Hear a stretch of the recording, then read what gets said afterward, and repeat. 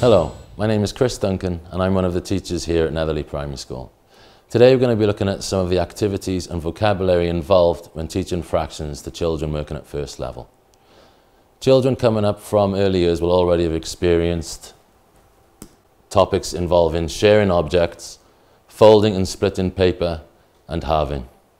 Children will be told that a fraction is part of a whole. Teachers may use an example like this to show the children. The chocolate bar here is the whole. When we split the chocolate bar up, each part is a fraction of the chocolate bar. Children are shown that when a whole is split up, each part is given a name, depending on the number of parts. The bottom number of the fraction is the number of parts in the whole. The bottom number is called the denominator. In this example, there are four parts altogether. One, two, three, four. So the denominator is four. The numerator refers to the amount of parts taken from the whole.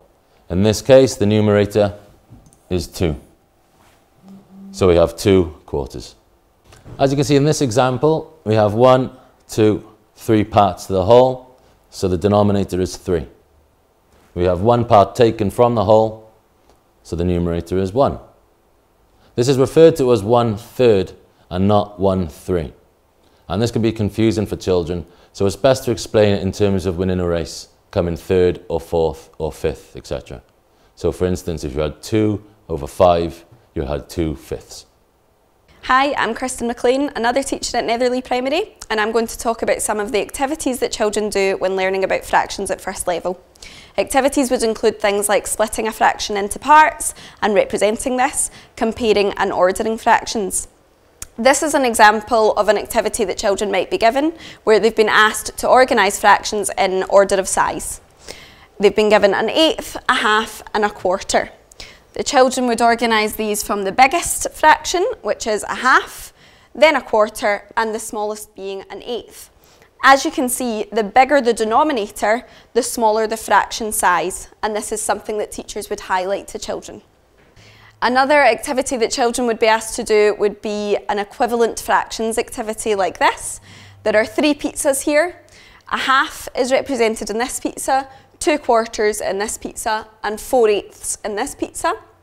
Teacher might ask uh, the children what pizza they would prefer to have, and children would come to the conclusion that it doesn't really matter what one you get, they're all the same size. It would be highlighted that this is called an equivalent fraction at this point. Another type of activity is putting fractions onto a number line. Children would have to count the parts of the number line. So in this example, there's one, two, three, four. That helps them to realise that the denominator of each fraction would be four.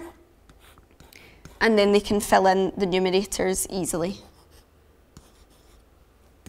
Another activity that the children would have to take part in is finding a fraction of a quantity. The children would always learn this after they had learned how to divide because it builds on that prior knowledge. In this example, the children are asked to find a quarter of 24.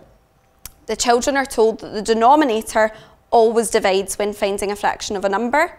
So in this example, we're going to do 24 divided by 4. There are six fours in 24, so the answer is 6. This is the vocabulary that children need to have learned by the end of first level when working with fractions. The first one is denominator, which is the number at the bottom of the fraction, which shows the number of parts altogether in the whole. For example, if I had a pizza that was split into eight parts, the denominator would be eight. The numerator, the number at the top of the fraction, which shows the number of parts taken. For example, if I took two pieces of pizza, the numerator would be two. Equivalent, which is the word for two equal fractions, like a half and two quarters. And the next words are the ways that we say fractions out loud. For example, one third, two sevenths, three ninths. The last two words in the list are half and quarter, and it's worth noting that these are the only two where the race analogy does not work. These are just words that the children need to learn.